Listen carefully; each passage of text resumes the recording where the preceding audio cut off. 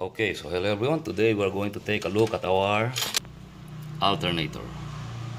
So this video is in connection with the previous video I made with regard to how to identify engine noise. So I suggest you watch that one first, okay?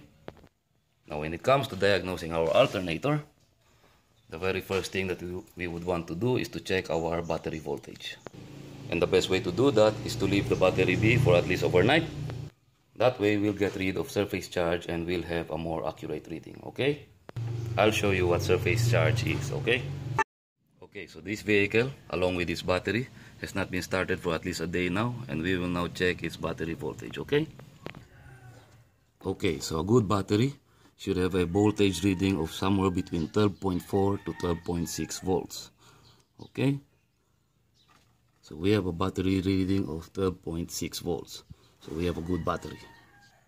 Okay, so now I will show you the difference when it comes to checking your battery voltage immediately after you turn off the engine, okay?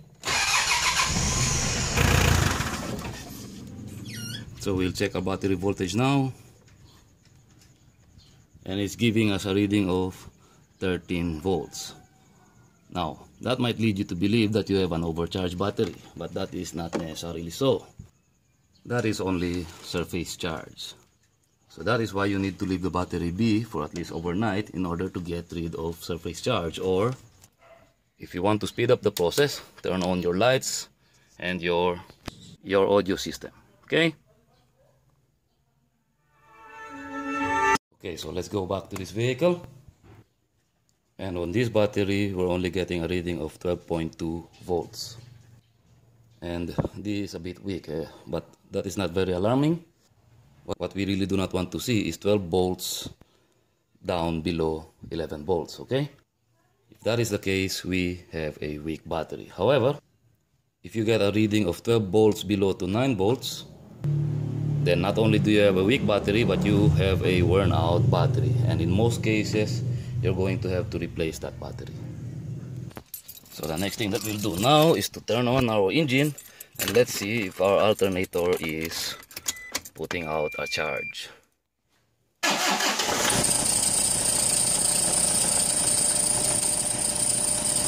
And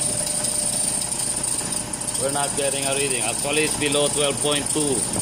So we're only getting a reading of 11.7 volts. So there's no output from the alternator. Because if the alternator is working, we should see a reading of somewhere between 13.5 volts to at least 15 volts okay? However if you're going to get a reading of more than 15 volts to 16 volts then you have a problem with your alternator that is overcharging your battery and that is dangerous. It might lead to uh, your battery exploding okay? However if your alternator is only also putting out 13.5 below then your alternator is only putting out a low charge okay? But we'll check some more. Now we will make sure if our alternator is not really putting out any battery voltage okay? So we're going to remove this cover. This right here is called the B pulse of the alternator. This is connected towards your battery via fuse okay so I'm going to leave the negative probe on the negative terminal of the battery. And this one I will stick it here okay? And then we'll check the reading. So we are getting a reading of uh, 11.9 so basically our alternator is not really putting out anything. So the next thing that we're going to do is to rev our engine up to 2000 to 2500 rpm okay and let's see if our voltage increases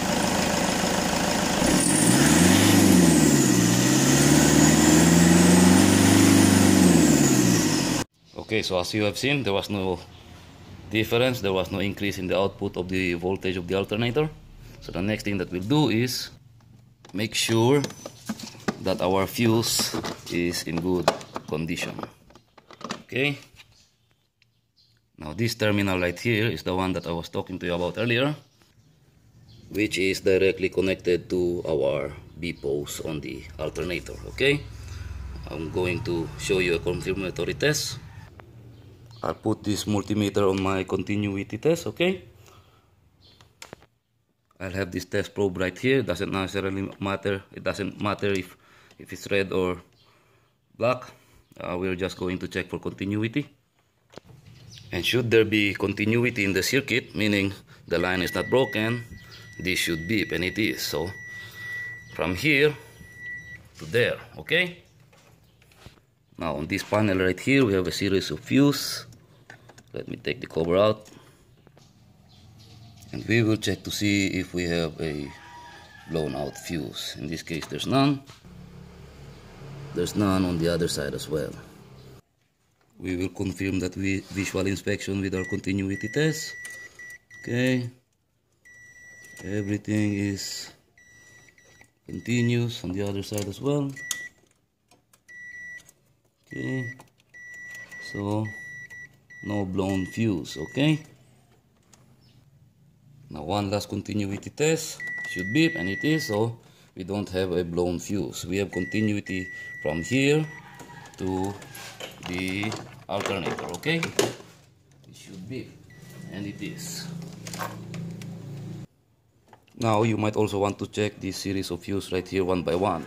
And in order for you to help pull this, they were kind enough to provide us this this comes with the fuse box okay now this helps you pull the fuse one by one now what you really want to see is you see that uh, sort of A shape it should be connected. Now in order to fully test that do so with a continuity test okay? See? Now check one by one okay?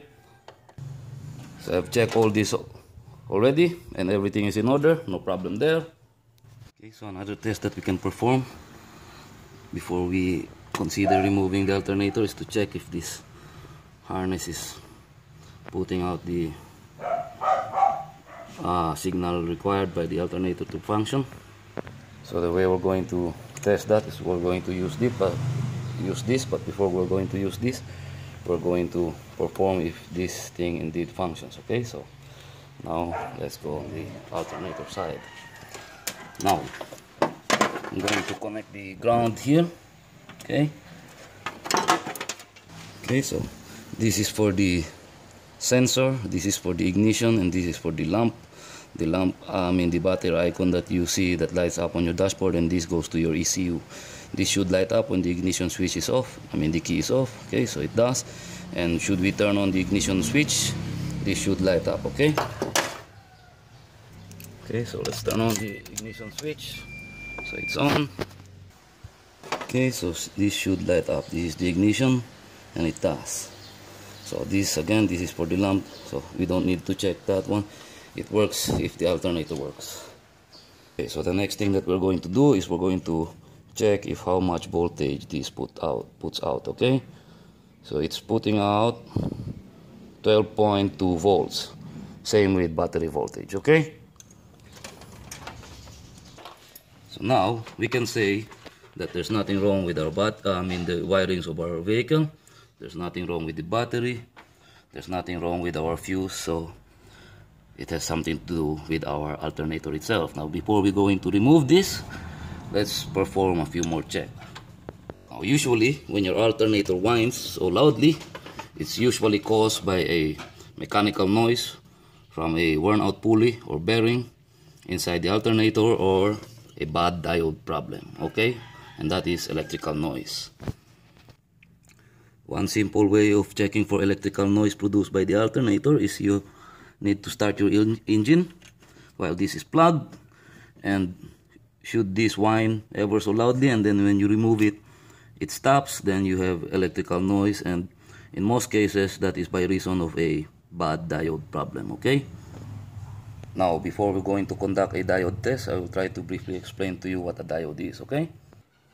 Okay, so basically a diode is an electrical component that allows current to go one way, but it does not allow it to go back, okay? Similar to a check valve.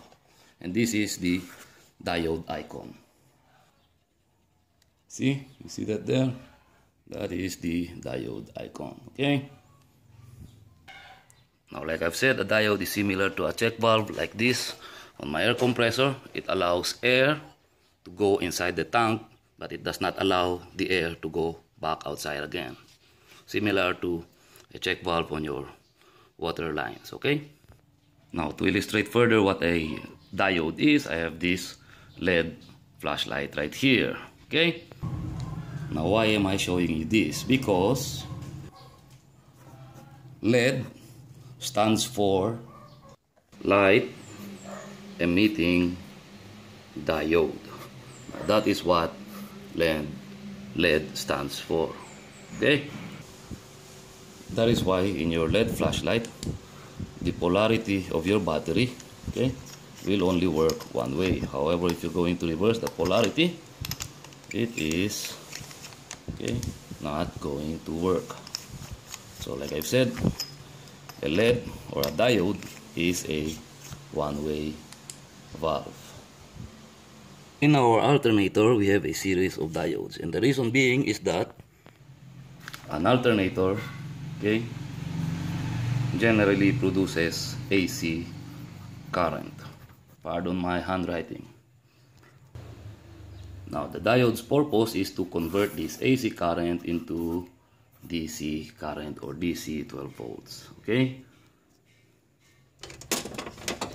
Okay, so now I will show you how a diode test can be performed on our alternator while it's still mounted on the engine. We need to disconnect this as well as this B post, okay? Uh, it's imperative that we need to do this, otherwise you're going to have incorrect results. So before I will remove that B post, I will disconnect the negative terminal on the battery. That way we're not going to short anything out okay so we're going to remove this cover for convenience then we can now safely remove the B post okay. Okay so now that is off the alternator we can conduct our diode test. Okay so now we have the multimeter ready. It's on our diode test. And what we are looking for should we connect this black or negative probe to this ground or the body of the alternator we should get a reading of somewhere about 0.5 volts. So we're getting a result of 0.4 that's okay. The result is going to vary uh, with regard to the amperage of your alternator okay? Now if we're going to reverse that polarity we should not see any reading. In this case there is none. So we do not have a diode problem. However if you're going to see a reading on this part, when you reverse the polarity, you have a diode problem. Okay? This way we have a reading. This way we should not have a reading. Like I've said, a diode is a one-way valve.